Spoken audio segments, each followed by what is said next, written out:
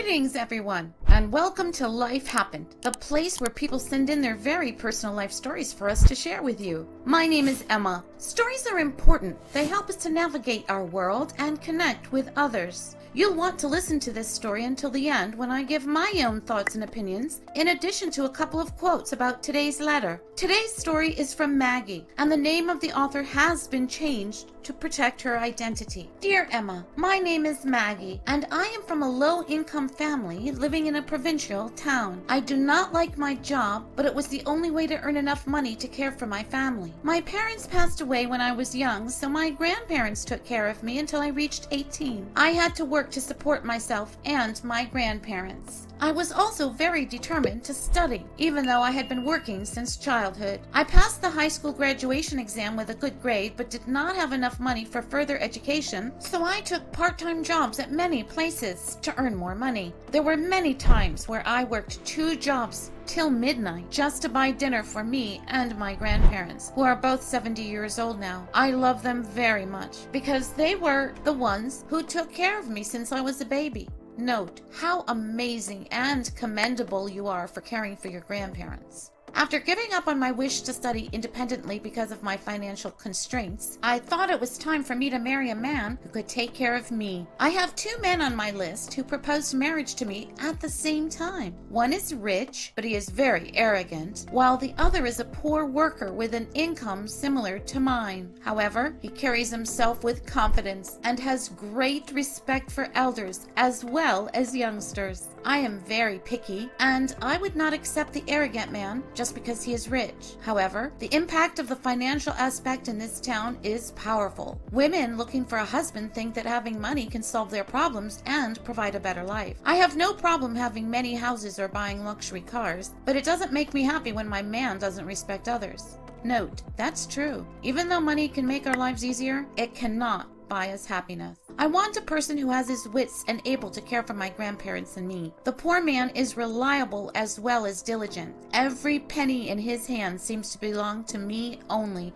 making me feel like we are already married, even though we haven't even officially tied the knot. As time goes by, I start feeling that I love this man more and cannot give up on him no matter what anyone says about him. Besides, he loves me with all of his heart. To make our relationship work, he is willing to change his job to earn more money and to study further. My heart says that he seems like the right one for me. Note, if your heart is telling you this, then why even consider the man whose pockets are so deep? However, this marriage choice that I have to make has come at the most challenging time time. Although he is willing to offer everything, I cannot marry him now because he does not have enough money to support my grandparents and me. If I get married and quit my job to take care of my family, it will cause financial problems. Note, why would you have to quit your job if you married him? I love him sincerely, but I am scared of what could happen in the future if I chose to marry him because his salary isn't enough to care for the both of us. I call my rich boyfriend for support, which he also offers me because of his will to marry me, and the support will stop once I get married to the man I truly love. I wish my main boyfriend could get a better job, but he doesn't have a degree. I don't know if it will be easy for us when we start our family because he is yet to get the new job he promised to get. Note, then don't quit your job. Put off starting a family, and save for your boyfriend's degree. Now, this reminds me of the books and their audio versions we have listed in the description box below for your reference in regards to Maggie's story. And now would be a good time to hit the like button and subscribe to Life Happened. Now, back to our story. I don't want to marry my rich boyfriend because he is proud, but he gives me anything I need before asking. He also promised to sponsor my education and make me feel comfortable. He is a good man, but he appears to be so arrogant. He has no respect for elders and does not talk to poor people at all. He seems to look down on them because they are poor. I do love him, but I cannot accept his attitude towards others. Note, you mentioned you come from a low income family. So why is this rich man with you if he looks down on people less fortunate than he is? Does he look down on you as well? Or would he if you ever married him? Would he hold that against you? Just a thought. I consulted with my grandmother, and she said that everything would be all right if I married for true love. She can't help me much, though. Besides, she is 70 years old now, and I need her support in these difficult times.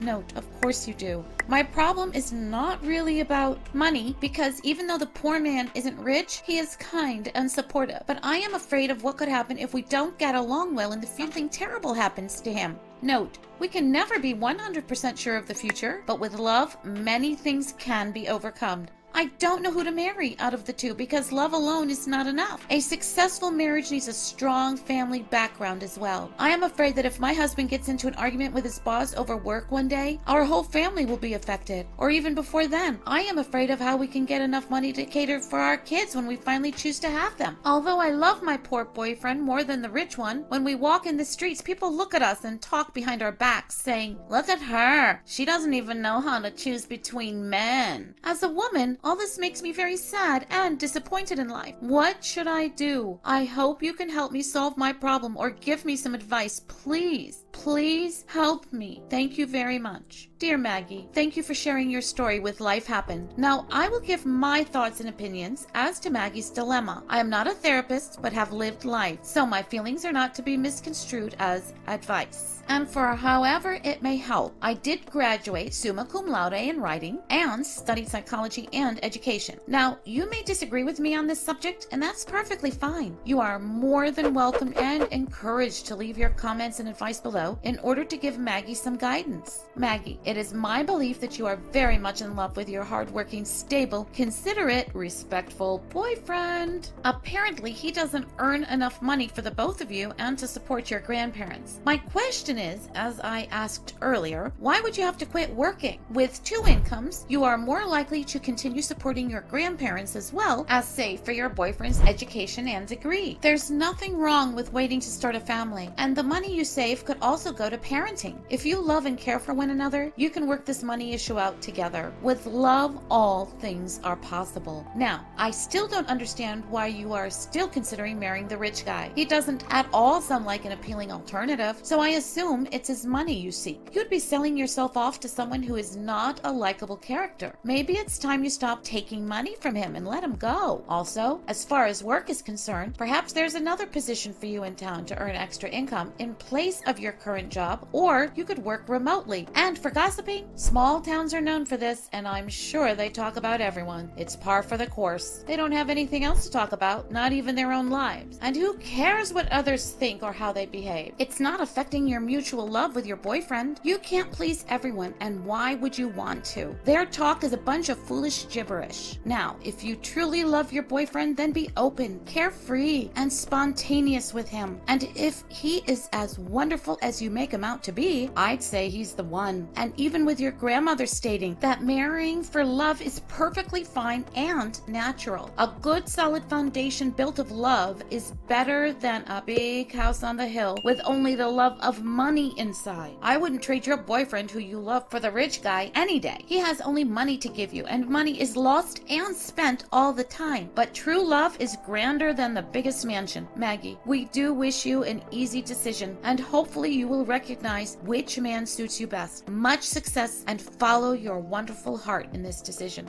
Today's quotes are Keep a sharp eye on the game and not the money. Money will pass away, but the game will play on. By Michael Bassey Johnson. And Money, if it does not bring you happiness, will at least help you be miserable in comfort. By Helen Gurley Brown. And one more. Want to see how people really are? Wait till money is involved. That's by an unknown author. So, how did you enjoy Maggie's story today? Just scroll down and leave your comment, question, or even the answer to Maggie's dilemma. You know, we humans enjoy stories. They are important to our lives because they can help us to better understand our world, communicate, and connect with other people. And you, right now, can make a huge difference in Maggie's life by sharing your feelings and advice for her in the comment section below. And remember that by liking and subscribing to Life Happened, you will hear me read letters every week on Monday, Wednesday, and Friday, which people send us, detailing their issues in their everyday lives. These are real life personal stories, and people want and need to be heard. Also, don't forget if you have a personal story or issue which you would like to share with us, please send us an email using the email provided in the description box below. It would be great to hear from you. And we accept letters from anonymous authors, and we always change people's names to protect their privacy. Also, please watch other videos from Life Happened. They're full of people's emotions, and they are great stories to listen to. We thank you for joining us here today, where life happened. See you next time, and have a wonderful day. Bye for now.